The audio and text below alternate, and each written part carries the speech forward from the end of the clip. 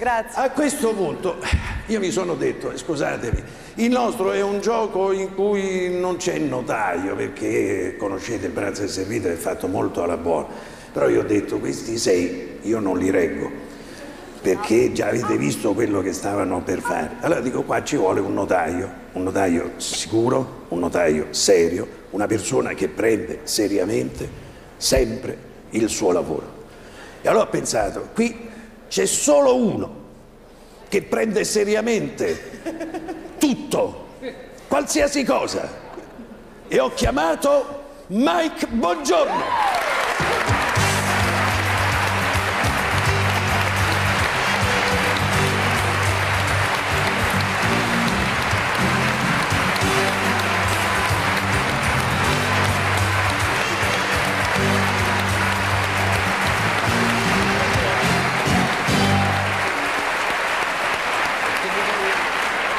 Ho l'impressione che ho sbagliato mestiere, non dovevo fare il presentatore, dovevo fare il notaio per ricevere questi applausi. È eh? vero, può darsi, può darsi che sia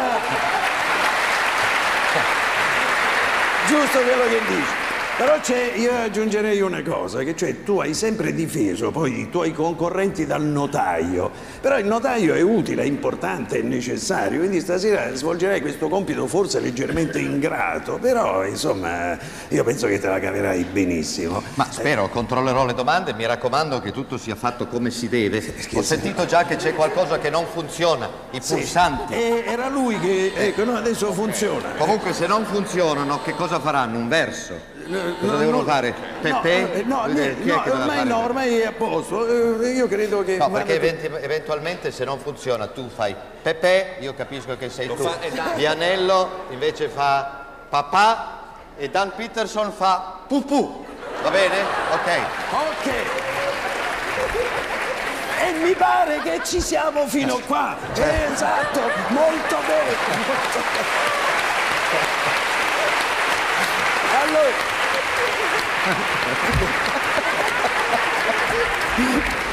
Perché la, co- perché la cosa bella è che lui non si accorge di quello che dice, se ne ricorda dopo. Ho pensato adesso. Allora forse non è vero che io non sono spiritoso. Ma tu, Faccio sei, ma tu sei spiritosissimo, sei spiritosissimo, hai preso talmente sul serio questo tuo lavoro che eh, in fin dei conti fai sorridere.